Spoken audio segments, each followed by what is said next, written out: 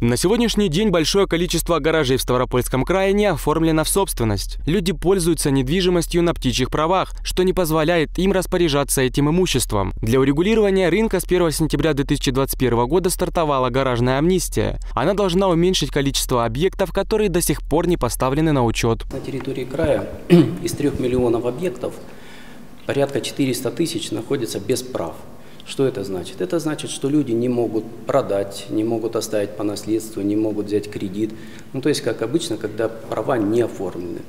Это включает в себя те объекты, которые были зарегистрированы, права на которые до 1998 года, до вступления в силу 122 закона о государственной регистрации. С момента вступления в силу закона о гаражной амнистии количество запросов на получение недвижимости увеличилось. За это время в нашем регионе около 14 тысяч гаражных объектов перешли во владение собственников. У нас Часть э, документов на такие гаражи хранится в нашем архиве учетно-технической документации. Мы постоянно боремся за снижение сроков выдачи информации из архива учетно-технической документации. Мы очень плотно работаем с органами местного самоуправления. У нас кратно выросло количество запросов из органов местного самоуправления, в том числе и в рамках гаражной амнистии, в том числе и в рамках тех изменений, которые были в целом внесены по полномочиям органов местного самоуправления по выявлению неучтенных или э, объектов недвижимости, у которых нет собственников. Воспользоваться гаражной амнистией могут как наследники, так и те, кто купил его у первоначального владельца. В законе указано, что гараж должен быть одноэтажным, а также обязан находиться в составе гаражно-строительных кооперативов. Если все требования соблюдены, тогда вы можете подать необходимые документы в свой муниципальный комитет. Человек собирает все документы, которые у него есть, приходит в администрацию, они все готовят и дальше уже взаимодействуют с нами.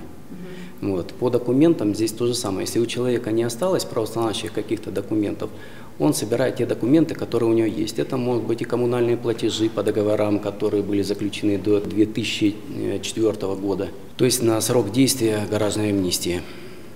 Вот. И дальше уже э, муниципалитет сам смотрит, запрашивает документы, готовит пакет документов и передает электронно нам. Закон о гаражной амнистии продлится до 2026 года. Теперь постройки, которые не были узаконены, можно будет оформить в собственность в течение пяти лет. Никита Лукьянченко, Максим Квитковский, Олег Христофоров, АТВ Ставрополь.